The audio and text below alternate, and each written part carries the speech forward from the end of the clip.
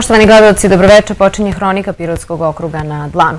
U večerašnjoj emisiji govorit ćemo o prvoj fazi rekonstrukcije opšte bolnice Pirot. Do kraja godine trebalo bi da bude urađeno idejno rešenje za uređenje kanala Rogozo, odnosno njegovo prevođenje u Nišavu. O tome, odnosno detaljnije o operativnom planu odbrana od poplava, koji je usvojen na poslednjoj sednici Gradske skupštine, za našu televiziju govorio je Sreten Savov.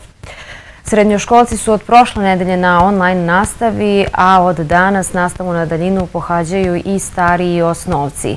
Kakva su za sada iskustva, da li su ovakvim načinom organizovanja i odvijenja nastave zadovoljni učenici, njihovi roditelji i prosvetni radnici, proveravali smo. Govorit ćemo i o temama iz oblasti sporta. Vidjet ćete izveštaje. Radnički poražen od IMT-a. Rukometašice Pirota savladale su ekipu Niške na ISE. Imate mnogo razloga da ostanete uz naš program narednih 30 minuta. Vesti dana na početku. Dopremljena oprema za početak rekonstrukcije krova opšte bolnice Pirot. U planu prevođenje kanala Rogoz u Nišavu. Šta o online nastavi kažu profesori, đaci i roditelji učenika. Beko parne stanice po super ceni. Tehnomedia.rs Kad ugledaš krov svoje kuće, znaš da je tu tvoj dom. To je mesto gde voliš, rasteš, stvaraš i planiraš. Razmisli, da li je svaki posetilac gost? Da li je ovo veština koja ti je potrebna? Da li ovako zamišljaš letovanje? Da li je komšija raspoložen za kafu? Ko ti čuva kuću? Dunav osiguranje. Prijatelj ostaje prijatelj. Svaki deseti stanovnik Pirota je u stanju socijalne potrebe. Preko 20% stanovništva su ljudi stariji od 65 godina. Ne postoje precizni podaci o broju samohranih roditelja, kao ni o broju osoba sa smetnjama u razvoju. Čak 90% Roma u Pirotu je nezaposleno. Pojedine kategorije stanovništva nevidljive su u lokalnoj zajednici. Podizanje kvaliteta života licima koje su u stanju socijalne potrebe višestruko je značajno kako za njih same, tako i za bliže okruženje i širu društvenu zajednicu. Podržite inicijativu da svako dobije svoje mesto pod suncem. Beko parne stanice po super ceni. Tehnomedia.rs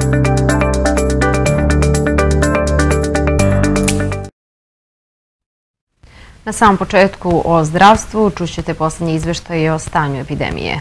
Registrovane su 62 osobe pozitivne na koronavirusu u Pirotskom okrugu dane vikenda, saopštene iz Zavoda za javno zdravlje. Prema podacima Zavoda, koronavirus potvrđen je kod 35 osoba iz Pirota, 12 iz Dimitrovgrada, 4 iz Babušnice i 11 iz Bele Palanke. Pozitivno je 57% analiziranih briseva od ukupnog broja testiranih. Na PCR analizu danas je poslato 49 uzoraka u laboratoriju Vatreno oko u Nišu. Na lečenju u opšte bolnici Pirot je 30 bolesnika, navodi se u saopštenju. U COVID ambulanti Doma zdravlja Pirot tokom vikenda obavljeno je 185 pregleda, od kojih je 96 prvih.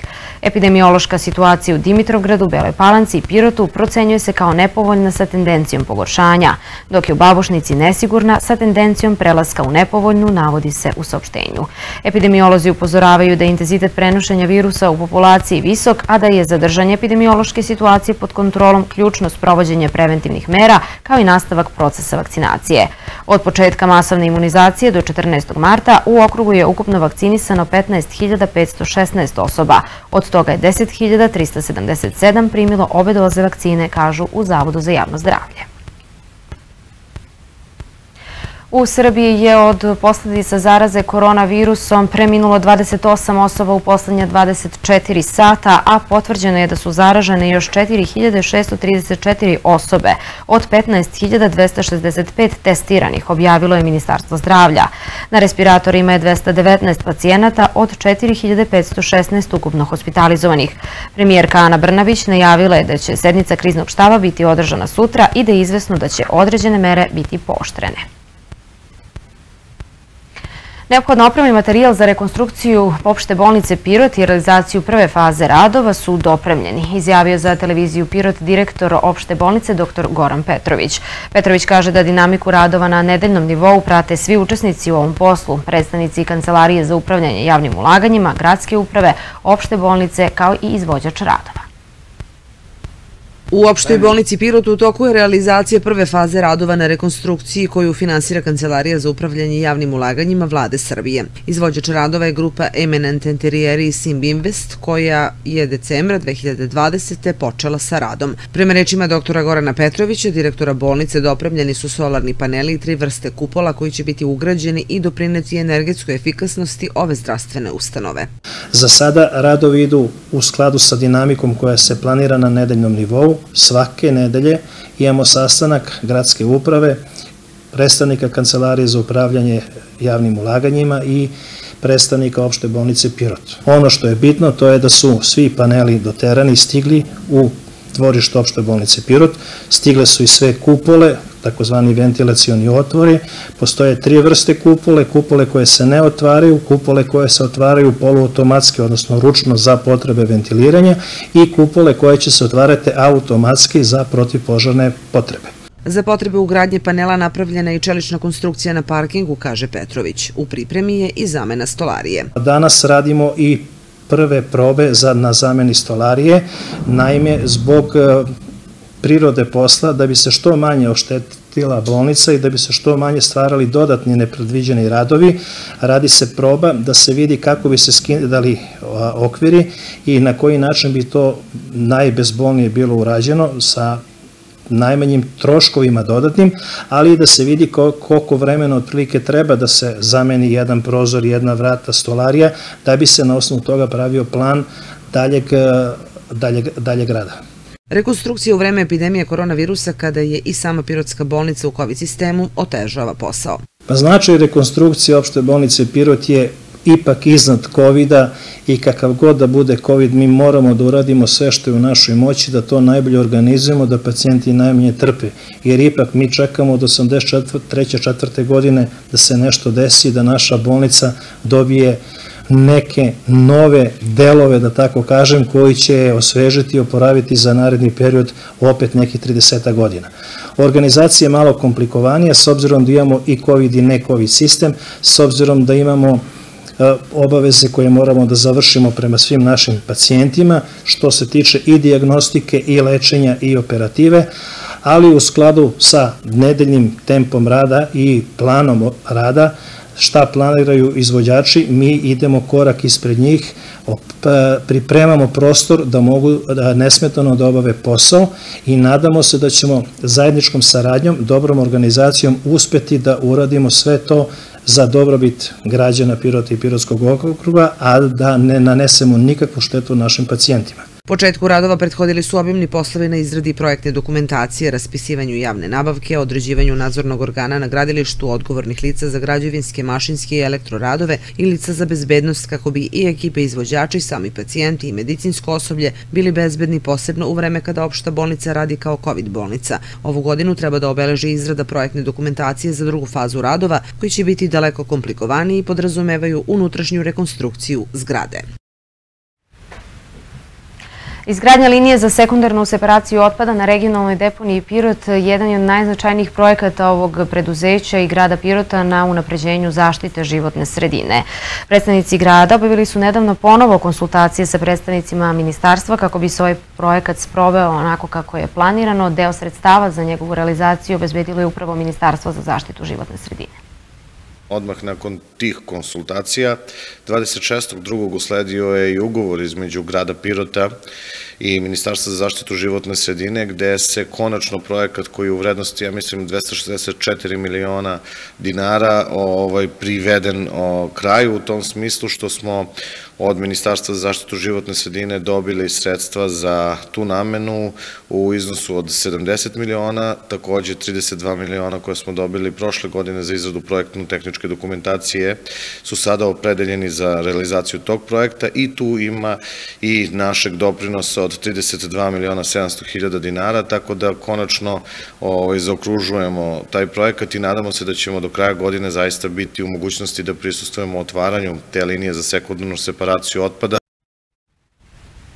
U narednim minutima govorit ćemo o operativnom planu odbrane od poplava za vode drugog reda. Ovaj plan usvojili su odbornici Gradske skupštine na poslednjoj sednici. Sretan Savo, koordinator Gradskog štaba za vanredne situacije, pojasnio je koje su preventivne mere predviđene ovim planom kao prioritetne. Sa njim je razgovarala Vanja Mijalkov.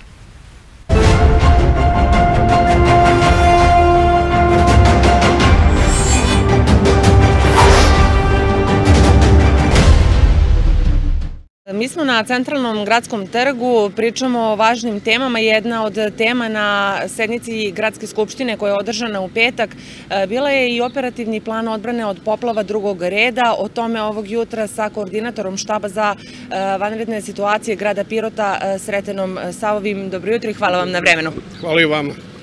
Da objasnimo najpre koje su to vode prvog, a koje su to vode drugog reda. Vode prvog reda su Nišava, Jerma, Temštica i deo, deo Visočice, a sve ostale reke, potoci i kanali su u nadležnosti grada Pirota, odnosno vode drugog reda. Naš operativni plan se odnosi na ove reke, osim prve koje sam naveo, za njih e, se radi operativni plan odbrane od poplava za vode prvog reda i time se bavi Ministarstvo poljoprivrede, vodoprivrede i šumarstva. Šta sve podrazumeva ovaj operativni plan s obzirom na to da znamo da je bilo 16 e, tačaka na sednici Gradske skupštine, da su prosto ove neke teme ostale u e, senci, bilo je tu i rebalans budžeta, je plan kapitalnih investicija, evo da kažemo šta konkretno ovaj operativni plan podrazumeva. Operativni e, plan podrazumeva preventivne mere zaštita od poplave, odnosno smanjenja rizika od mogućih katastrofa. Dakle, to je jedan operativni plan koji se donosi svake godine, naravno prilagođava se e, situaciji koja jeste na teritoriji grada Pirota kao i na teritorijama svih drugih lokalnih samouprava i predviđaju se radovi za 2021. godinu, dakle ono što bi trebalo održavati u ovoj godini i kako bi e, procenat rizika bio manji od e, mogućih poplava. Dakle, e, mi smo na, na Skupštini imali tačke dnevnog reda koje su od strateškog značaja. Znači, tu su bile tačke dnevnog reda od rebalansa budžeta, kapitalnih investicija, poljoprivreda i druge tačke dnevnog reda, javni prevoz, dakle to su neke stvari koje su od strateškog značaja za grad Pirot i nadamo se da će sve ono što smo planirali i ostvariti u narednom periodu ali to su i neke aktivnosti koje su prateće da bi iz nekih drugih oblasti imali stanje redovno. Dakle, nama je bitno da imamo stanje redovno, dakle, sve one druge stvari koje su bitne, a nisu od strateškog značaja, mi drugi sprovodimo dakle, te aktivnosti, među njima je i e, preventivna zaštita od elementarnih nepogoda, u ovom slučaju to su poplave. E, koji su prioriteti u samom operativnom planu za ovu godinu? Prioriteti su kanali koji su, sa kojima smo imali najviše problema i gde inače imamo najvećih problema, to je sigurno kanal Rogoz, to je reka Bistrica, Rasnička reka. Dakle, to je čvorište jedno koje je najrizičnije i e, od e, redovnog održavanja tih kanala i potoka zavisi e, kakav će biti rizik od poplava. Dakle, mi smo januara meseca imali jednu ogromnu poplavu, dakle to je voda koju je teško izbeći, dakle mi imali smo problema i 2007. i 88. i 1976. godine i to su poplave koje, za koje treba uvek nalaziti moguće rešenje. Neka rešenja su već smo krenuli sa tim rešenjima. Dakle, izgradnja hidrotehničkih objekata, to su one, oni bedemi koji, koji ograničavaju uh, otok vode uh, mimo postojećih bedema, dakle to su oni zidani i, i betonski e, objekti, dakle bedemi, koje ćemo dalje produžavati ka reci Bistrici i najverovatnije prema e, uzvodno kanal Rogos. Dakle, sve to moramo urediti na najbolji mogući način kako bismo sve to sprečili. Upravo ste mi dali dobar e, uvod. E, sve ovo je urađeno sa Kancelarijom za upravljanje javnim ulaganjima vlade Srbije. Nastavlja se ova saradnja i u planu je da se eventualno kanal Rogoz prevede u Nišavu, odnosno da se ta voda prevede ili da se napravi neki drugi plan, je li tako? Da. E, predložili smo da se prevođenje kanala Rogozu reku Nišavu kao strateški e, dokument, odnosno kapitalne investicije, to je prihvaćeno i naravno mi moramo dalje da radimo na tome da se napravi najbolji mogući plan, najbolji mogući projekat zajedno sa javnim preduzećem Srbija vode sa kojima imamo inače odličnu saradnju sa Ministarstvom za vodoprirodu, poljoprirodu i šumarstvo, sa Kancelarijom za upravljanje javnim ulaganjima i svim drugim preduzećima koja se bave infrastrukturom da na najbolji mogući način regulišemo protok tih velikih voda koji nailaze iz smera Dimitrograda, Petrovca, Držine, kako bismo to na najbolji mogući način kanalisali, sproveli na više, na više mesta, kako bismo rasteretili postojeći kanal Rogoz, a ujedno ne ugroziti Nišavu koja znamo i sami da je bila na veoma visokom nivou januara mesa. Dakle, to je niz zadataka zaštititi infrastrukturu, pre svega mislim na regionalni put prema Dimitrogradu, zaštititi poljoprivredno zemljište, zaštititi objekte, zaštititi ljude. Dakle, niz tih zadataka i podzadataka, dakle, sve te uslove treba ispuniti. A pritom svesti mogući rizik, moguću štetu na najmanji mogući nivo.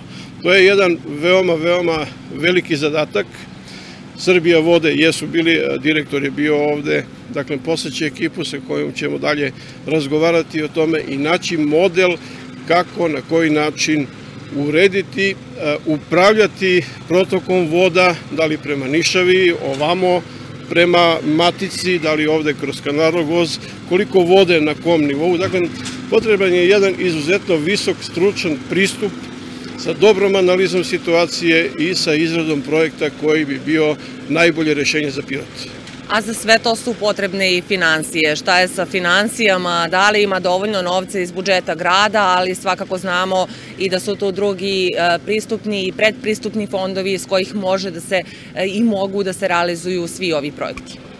Budžet je dakle, osnova budžet je izuzetno stabilan i tu se videli smo da će ove godine biti e, rađeni kapitalni, kapitalni objekti, što iz budžeta, što iz drugih izvora koji ste, koji ste naveli, a za ovaj kanal, dakle Mrogoz, e, sigurno neće biti ove godine, barem da, da stignemo do kraja godine da napravimo jedan dobar, jedno dobro idejno rešenje kako bi to trebalo da izgleda.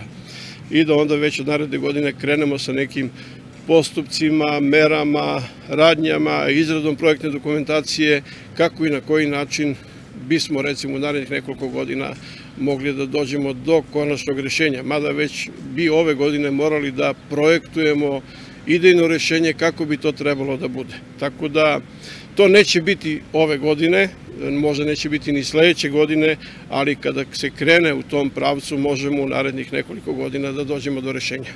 Hvala vam najlepše na ovom razgovoru. Hvala i vama.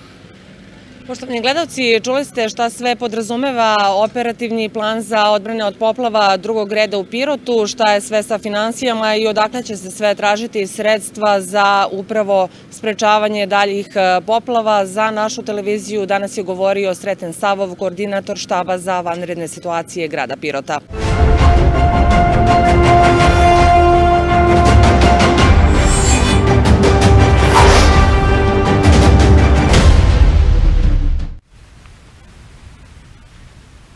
Regionalna razvojna agencija Jug raspisala je javni poziv za sprovođenje paketa usluga za žene i mlade u okviru programa standardizovanog seta usluga za mikro, mala i srednje preduzeća i preduzetnike u ovoj godini. Usluge su besplatne, a po završetku obuka polaznici dobijaju sertifikate. Pravo učešće na javnom pozivu za pružanje usluga imaju mladi potencijalni preduzetnici starosti od 18 do 30 godina koji nemaju u APR-u registrovani privredni subjekt. Takođe i mladi preduzetnici koji imaju registrovan subjekt ne duže od 5 godina i žene preduzetnice koje imaju registrovan posao u APR-u ne duže od 5 godina, a čiji je osnivač i zakonski zastupnik žena. Javni poziv je otvoren do 1. aprila. Dodatne informacije zainteresovani mogu da potraže u Kancelariji regionalne razvojne agencije Jug na Omladinskom stadiju. Grad Pirot raspisao je javni poziv za dodelu pomoći preduzetnicima, mikro i malim privrednim društvima s subvencionisanjem kamata na kredite poslovnih banaka. Za ova kreditna sredstva mogu da se prijave poslodavci čija pretežna delatnost nije registrovana u okviru primarne poljoprivredne proizvodnje i trgovine. U pitanju su investicioni krediti sa rokom dospeća do 36 meseci, prevashodno namenjeni za ulaganje u poslovni prostor, nabavku mašina, alata i opreme. Realizacija subvencionisanih kredita sprovodit će se preko kredita Agricol banke i poštanske štedionice sa kojima grad ima potpisane ugovore o poslovno-tehničkoj saradnji. Detaljnijim informacijama o pozivu raspoložu u Kancelariji za lokalni ekonomski razvoj pomenutim bankama gde građani mogu da se obrate za pomoć. Dokumentacija za prijavljivanje dostupna je na zvaničnoj internet stranici grada. Job Info Centar objavio je poziv za obuku za zanimanje putar. Obuka će biti realizovana na radnom mestu u kompaniji Drumovi AD u Pirotu. Kroz teoriju i praksu za ovo zanimanje obučavaće se 10 polaznika saopšteno iz Job Info centra. Polaznici će tokom obuke primati naknadu, a najbolji će dobiti i priliku za zaposlenje. Mogu da se prijeve nezaposleni starosti od 18 do 30 godina ili do 35 ukoliko pripadaju ranjivim društvenim grupama, navodi se u saopštenju. Prijavljivanje u Job Info centru u Bogojavljanskoj ulici broj 3. Preciznije podatke građani mogu da dobiju pozivom broje telefona 010 501 820 ili putem e-maila slanjem poruke na adresu jobinfocentarpirot.gmail.com. Đaci su se već navikli da pohađaju nastavu na daljinu. Uhodali su se i profesori, ali nastavu u učionici nikako ne može u potpunosti da zameni ova na koju su jel, prinuđeni. Odlukom Republičkog kriznog štaba za suzbijanje zarazne bolesti COVID-19, pored srednjoškolaca, od danas na online nastavi su i učenici starih razreda osnovnih škola. Vanja Mijalko proveravala je kako se snalaze profesori, učenici, njihovi roditelji. Iz dana u dan, epidemiološka situacija izazvana brzim širenjem koronavirusa se pogoršava. Utiče na sve sfere života, nije izuzetni obrazovni sistem. Predložene su i donete mere u cilju smanjenja prenošenja virusa. Jedna od njih je i prelazak na online nastavu. U školskim klupama i školskim dvorištima od danas su zvanično samo učenici mlađih razreda osnovnih škola. Učenici starijih razreda su na online nastavi. Iako se online nastava odvija nesmetano u školsku klupu, dvorište, veliki odmor, pismeni zadatak, ne može da zameni ni jedna internet platforma. Bilo je dosta reakcije od strane nastavnika, od strane roditelja, od strane učenika, da nezadovoljstvo zbog online nastave, jer u svu tehnologiju i iskustva koje imamo pozitivno u nekim stvarima, stvarno online nastava, pogotovo za učenike osmog razreda, je negativno deluje na sve njih i ne znamo svi sa strepnjom smo iščekujemo kako će koliko će to dugo da traje i kako će se to odraziti na završni ispit. Naravno da niko nas nije srećan ovom organizacijom rada u školama, Ovaj, ja hiljadu puta kažem, živoreč nastavnika ne može niko da zameni, ni jedan online stava, ni jedan Viber, ni jedan Zoom, ali kažem, ovo je već neka viša sila, šta je tu je, moramo da poštujemo upustva, ministarstvo prosto je mora da poštuje upustva kriznog štaba, tako da sve to i lanšamo. Ovaj, u našoj školi, ovaj, već smo uhodani i u našoj školi, a mogu da kažem kao predsjednik aktiva direktora srednje škola, da u svim srednjim školama u Pirotu nema problema kada u pitanju online nastava, Online nastavom nisu oduševljeni ni maturanti. Milica Jonić, učenica četvrtog razreda ekonomske škole, pokušat će da se dobro pripremi za prijemni ispit na fakultetu. Priprema se uglavnom iz priručnika koji profesori daju učenicima, ali i iz vežbanki iz ranih godina. Bolje nam je kad smo išli u školu, pogotovo zato što smo mi četvrti razred i zato što smo maturanti i ne možemo lepo da se spremimo za prijemni a za online profesore možemo u bilo koje doba dana i noći da pitamo, oni nam uvek odgovaraju i dobro je organizovana, ali je bolje kad idemo u školu. Nezadovoljstvo vlada i među roditeljima učenika starih razreda osnovnih škola koji su od danas na online nastavi. Nastavu kao roditelj lično sam jako nezadovoljna, a i moje dete i njegovi vršnjaci, zato što smo već milion puta zaključili da ništa ne može da zameni živu reč, odnosno reč nastavnika i nastavni proces u online nastavi, bez obzira koliko se nastavnici trude, zaista se trude da to ovaj, kvalitetom ne odstupa od standarda, da deci pruže sve moguće raspoložive informacije, ipak izostaje učenje u učionici, izostaje učenje u nekoj interakciji Tako da deca su zaista, zaista oštećena. Prosto ne znamo kako ćemo da, da nadoknadimo, ne samo što se tiče gradiva, već i u oblasti socijalizacije, u oblasti sticanja nekakvih e, sećanja na završni razred osnovne škole. Na kraju kada bude došao završni ispit, učenici već godinu i po dana neće ići u školu na regularan način. Učenici će razrede sigurno završiti, upisati srednje i osnovne škole, fakultete, ali ostaje pitanje da li će znanje ovih generacija biti na nivou koji se od njih očekuje, s obzirom da se nastava odvijala na drugačiji način nego ranije. Više od 170 jevreja iz Pirota stradalo je 1943. godine. Sećanje na njih neguje se i danas. 78. godišnjica od njihovog progona obeležila je 13. marta. Komemorativnim skupom polaganjem cveća i venaca na spomen obeležje Davidova zvezda u Jevrejskoj ulici odata je počast jevrejima stradalim u drugom svetskom ratu. Bugarske okupacione snage su u noći između 12. i 13. marta 1943. godine uhapsile i zarobile u Sokolani Pirotske gimnazije jevrejske porodice iz Pirota. Nedelju dana kasnije oko 170 jevreja iz Pirota deportovano je u Treblinku, takozvani logor smrti u Poljskoj. Svega nekoliko ljudi je uz pomoć požrtvovanih piroćanaca uspelo da izbegne sigurnu smrt. Na obeležavanju godišnjice Miloš Colić, zamenik gradonačelnika Pirota, istakao je da danas nismo svesni da je pre samo 78 godina neko mogao da ljudima otuđi pravo na slobodu i život. Moramo da pozovemo na negovanje kulta različitosti između države Srbije i drugih država, između srpskog naroda i ostalih naroda, međutim i među nama Srbima pojedinačno. Jedino na taj način možemo da se ovako pandemijski izrazim, da stvorimo imunitet protiv iskrivljenih ideologija, ideoloških inženjeringa koji su odveli celu Evropu i pola sveta u drugi svetski rat, a kojih nažalost po džepovima društva i kod nas i u Evropi i svetu i dalje ima. Na holokaust i dešavanja koje su prethodila stravičnim zločinima učinjenim jevrejima podsjetio je istoričar Davor Lazarević. Progon jevreja u Pirotu počeo je mnogo pre 12. marta.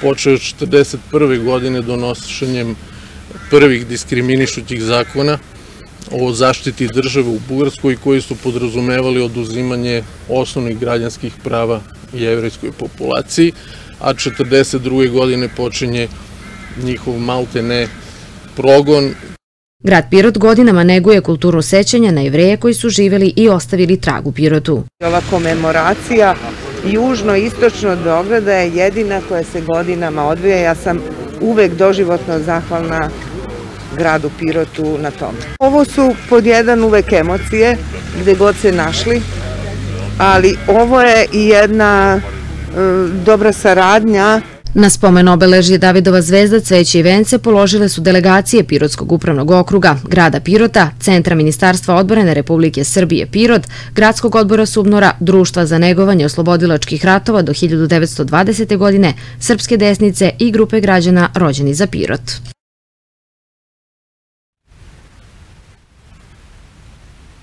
Ansambl Narodnog pozorišta Pirot izvešće sutra ponovo komad Strah jedna topla ljudska priča. Predstava počinje u 19 sati.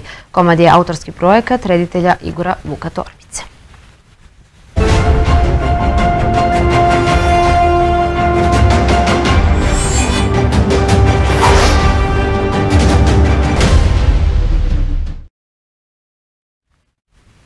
U nastavku sportski blok. Pirotski radnički poražen je na svom terenu od IMT-a sa 0-2. Beli su bili ravnopravan protivnik. Poslednjih 12 minuta imali su igrača više posle isključenja Stefanovića, ali nisu iskoristili svoje šanse i za to su kažnjeni u zaustavnom vremenu.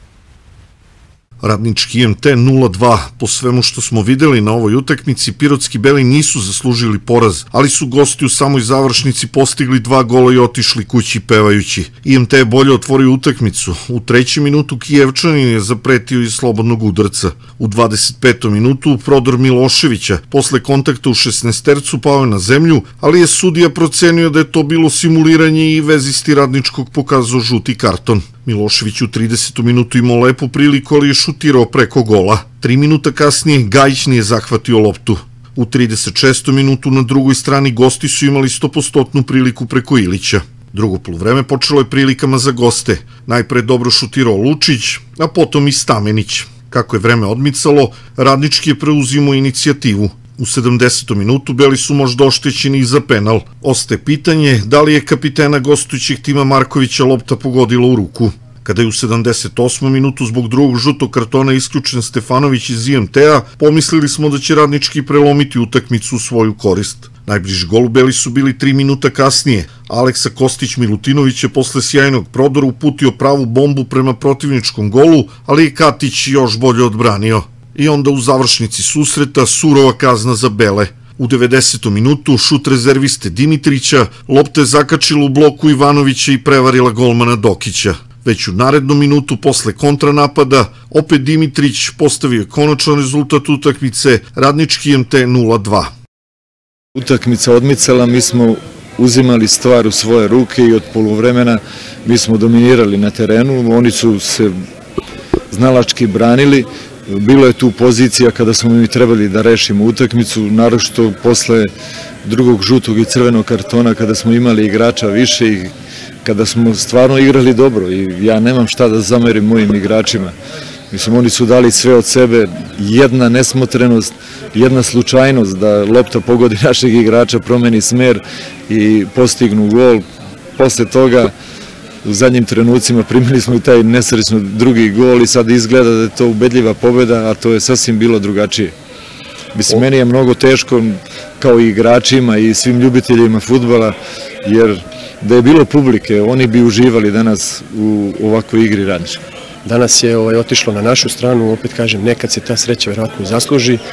Ne mogu da kažem da je Radnički nije zaslužio, apsolutno, verovatno isto tako i oni kvalitetno rade i trude se, videći suze na licima njihovih igrača, to je onako e, emocija jedna koju futbal nosi i naravno uopšte rezultati, kako se odvijaju određene utakmice, futbal čine možda zato i najpopularnijom igrom na svetu, zato je nešto, to nešto što, što svi volimo da gledamo. Ovim porazom Beli su dodatno iskomplikovali svoju situaciju u borbi za opstanak. U narednim utakmicama moraće da igraju mnogo bolje i efikasnije ako žele da ostvare cilj. Narednog vikenda radnički gostuju u Vranju gde se sastaje sa ekipom Dinama. Futbaleri Tanaska Rajića poraženi su na svom terenu rezultatom 0-1, iako su nadigrali ekipu Hajduk Veljka u derbiju 17. kola zone istog. Jedini gol iz penala postigao je Đorđević.